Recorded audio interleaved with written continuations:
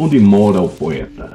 Na curva, na linha reta dos versos que escreveu, nas ruas da cidade, anseio por liberdade no livro que não se leu.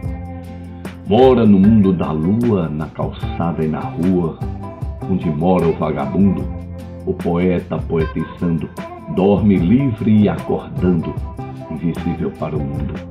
É deixado na saudade dos tempos da mocidade, por vezes na prateleira, na sombra do esquecimento, lembrado por um momento, esquecido a vida inteira.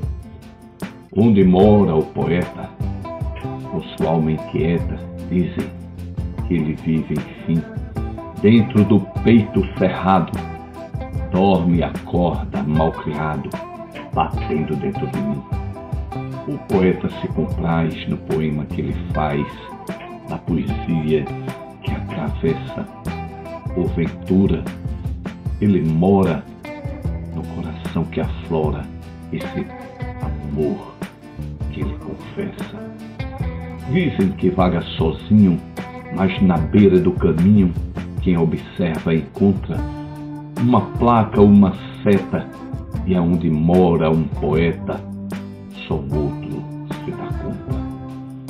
Nômade, aventureiro, o poeta é passageiro. Ele chega e logo sai. E soprando como o vento, ele fica por momento. Não se sabe onde vai. Por certo, ele mora eternamente no agora, no aconchego do abraço. O poeta enamorado mora no aqui bem ao lado, para além de todo o espaço.